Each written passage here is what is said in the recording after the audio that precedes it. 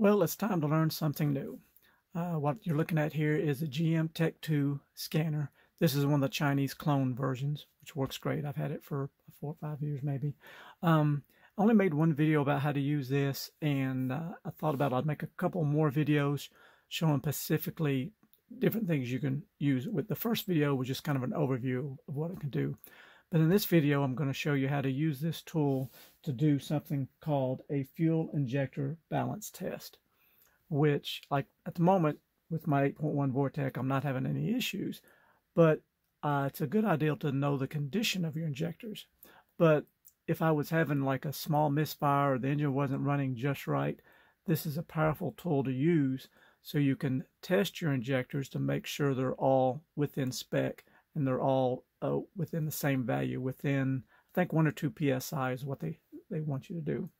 But if you're going to do this, first of all, you need this tool. Now, I got this, I got my receipt here somewhere. When did I buy this thing? Um, I don't see the date on it right off, but here I got a good deal on it when I bought it. It $278. Now they're running a little over 300 bucks.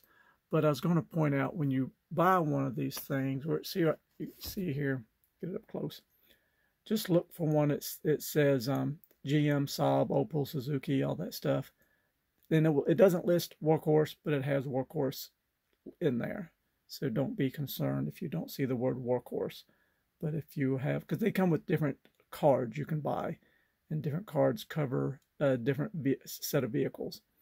But if you find, uh, I think it's like those like 32 megabyte cards or something like that, they they slip in the, the back of it.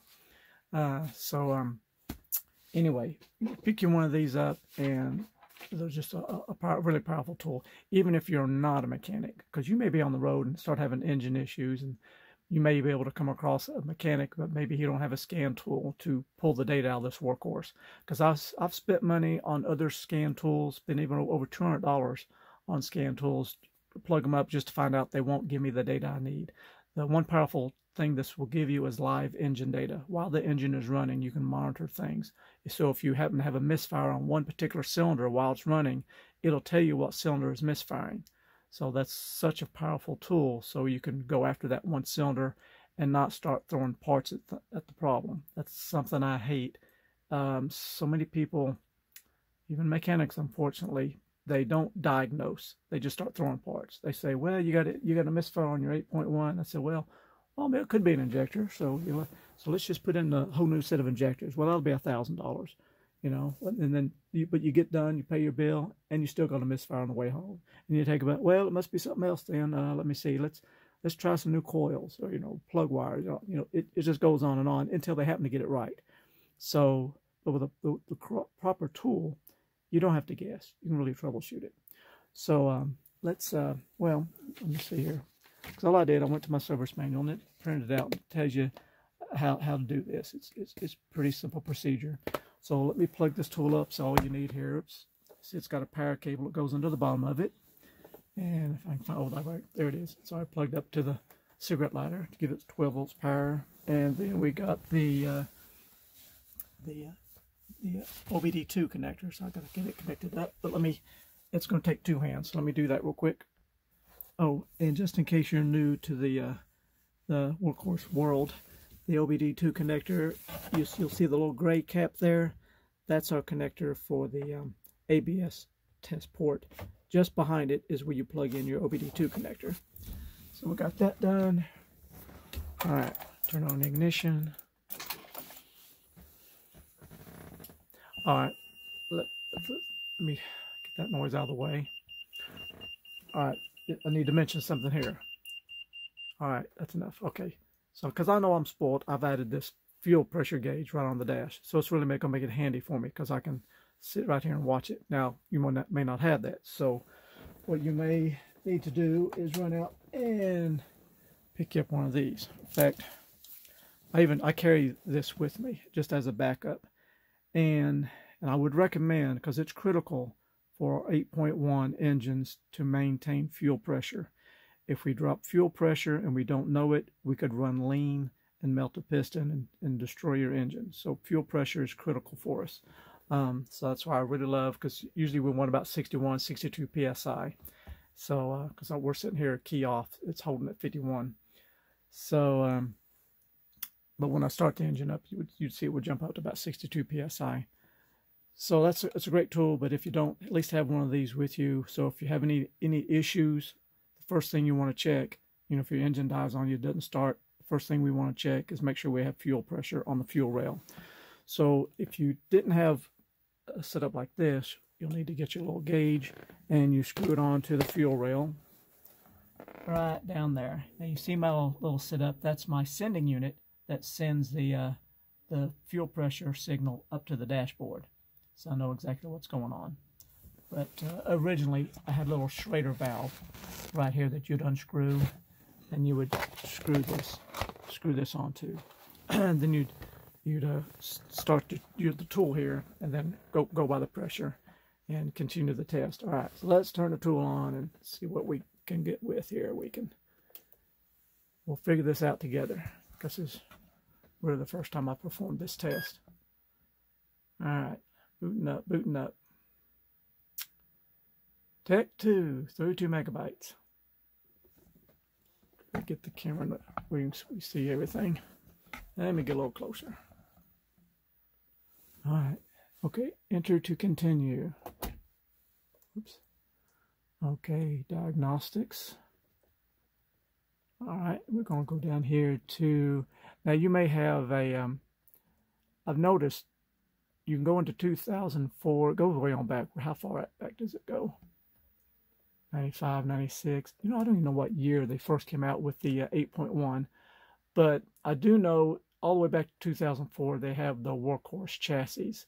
Um, let's let's go to 2003. I can't remember workhorse. See, they don't have workhorse listed back to 2003, but they do have um, like truck and other stuff. You can get in here and pull up the 8.1 engine. All right, I had to pause there for a second, had a phone call. So let's go back to, I was talking about older RVs because this is a 2005. But say, for instance, and I notice uh, it only lists workhorse down to 2004. When you get 2003, you open it up, powertrain. Whoops, wait a minute, let me go back again. Where is it at? Where is it at? Yeah, 2003. Yeah, we don't have the workhorse doesn't is not listed, but it, it doesn't really matter because you can go back here. Say for instance, let's go back to 2002 even. So even though workhorse is not listed as an option, you can go down to medium duty truck and go to powertrain, choose the 8.1, push push a lot of buttons here.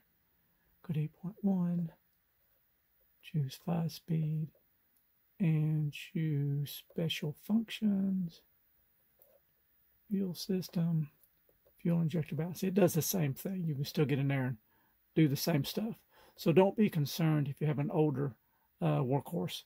You can still pull the data out of the engine that you need. All right so let's back up get back to where I want to be on ours. All right oops went too far.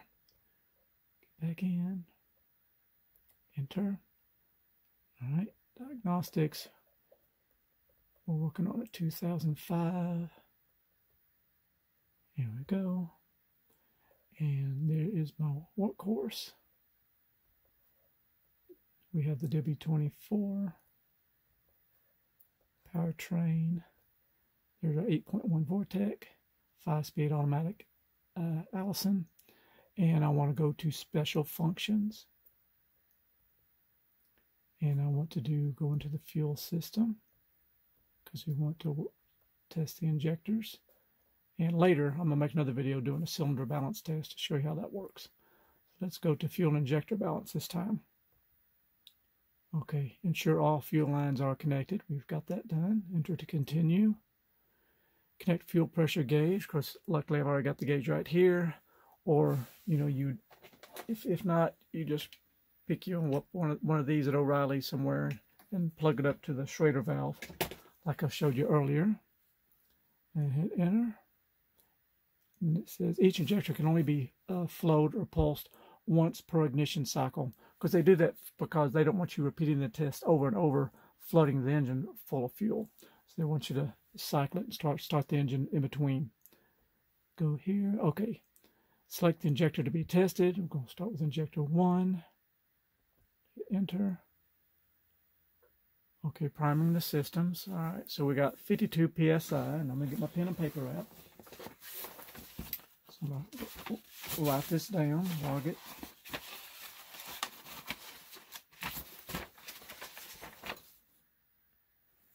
Okay, so we're sitting at 51 PSI, I got my paper ready, and now we're going to pulse the injector. Just go down and hit this, this white button. Well, I didn't push it hard enough, push it. All right, injector already tested, unable to restart test during this engine's off cycle. I know what I did wrong.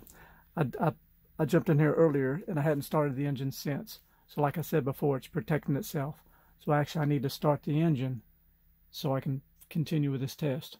So let me do that. Okay, I've started the engine and shut her down. All right. Ignition back on. Now see if we can perform the test again. Beep, beep, beep, beep. Okay, back to fuel injector balance test. Let's hit enter. We already got the lights, got that done. Connect fuel pressure gauge, that's done.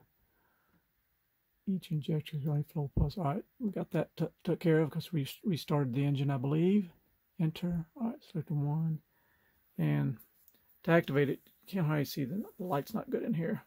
But you got four buttons across the, the bottom here. And whenever it's got a, a, a white block, you push the button the right below it correspondingly. So let's hit this, see what happens. Select injector. Oh, I don't, what did it move for? How did I select it? I see what it is. You can choose any injector you want. Okay, that's the if you want to test one individual injector, but I want to test them all. All right, so we're learning this together. So one. Now I'm going to hit the enter button in the center here. Priming system. Okay, we're primed. Record fuel pressure reading. All right, 51 psi. Got it wrote down. Okay, now let's pulse the injector. Now here we've got to follow that white and push this button down here.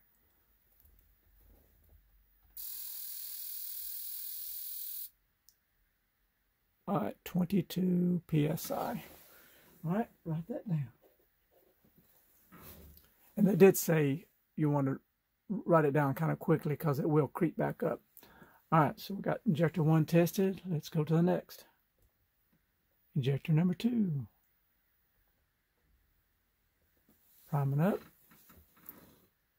All right, it's also 51. And now we're going to pulse. All right, 21. All right, one pound difference. Let's go to the next.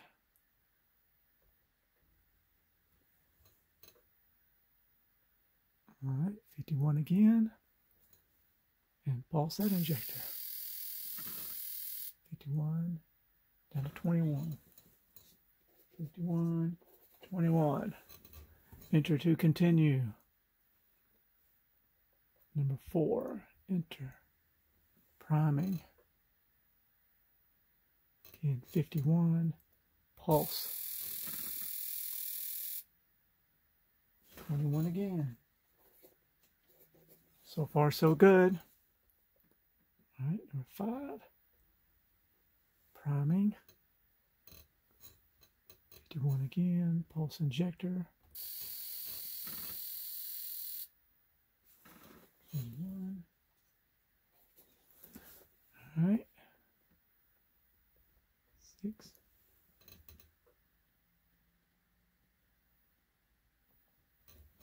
And 21.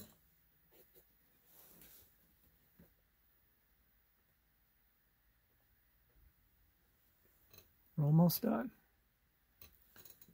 Priming system. 51, pulse injector, 21, 22. Okay, we'll see that one. 22. Last one.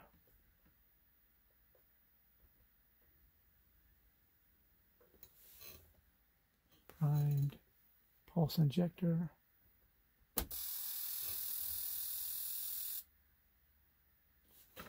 Awesome, all right. So we're looking good. Everything's mo most every one of them about 21. I had one at 22, but with uh, just one pound difference, and that way all my, my injectors look like they're are in good shape. They're all even. So now I know. So that's a that's a good good thing to know. And I have a baseline. So in the future, if I have any kind of engine problems, I can refer back to my notes, refer back to my video, and I say, okay, this is what they flowed so many years ago, and compare it to, you know, because we're sitting at now about 70,000 miles. So in four or five years, I want to check it again. I can check it and see if there's much difference. Okay, so now we know how to do a uh, injector balance test. So we got that part done. But there's one more thing too. If, if you suspect you got a bad in, injector, is you can also do a ohms test. And per the per the shop manual, for our um, injectors on 8.1 Vortec, we want between 11 to 14 ohms, uh, with no more difference than 3 ohms between all the injectors, as far as for an average. And in case you don't know, right there's our injector. and you can see that little, actually got eight of them. But you see the little green clip. That green clip is not user friendly. You, it's kind of got a weird process. And tell you the truth, I forgot. But I did make a video. It's just a minute or two video. But man, it's very popular. It's had thousands upon thousands of views. Uh, because it is such a strange little connector to release. You got to push, pull, twist, hold your mouth just right. Then the connector comes off at that point, then you can uh, put your voltometer onto the injector itself and measure its resistance and do that to all eight. Uh, because I do believe these things are running over $100 a piece. They're pretty expensive. But, you know, like this thing's got 70,000 miles and all of these are good. I don't think it's a, a common problem. Um, I've heard of a few people replace them. But uh, I often wonder if, like I said before, a lot of stuff gets replaced and that's not the problem. So that's why you really need a true diagnostic test so you know for sure that part is bad, not, not just throwing expensive parts at it. Uh, so anyways, hope to, oh, one more thing, I'm, I'm going to leave this out here because when you go to order these scan gauges, the, the, the GM Tech 2, you have the option sometimes to, with or without this CANdi, this box here. This box, I guess, enables you to hook up to newer vehicles. Uh, with our workhorse, we don't need this. So you might be able to save some money if you opt not to buy this particular box. But you can do a little research and, and make sure. But I think I remember that. But for the price I got it, I just got it in case I come across a newer vehicle I want to hook to and, and pull the data out of. Anyhow, I think that'll conclude it for tonight. Thanks for watching. Have a great day.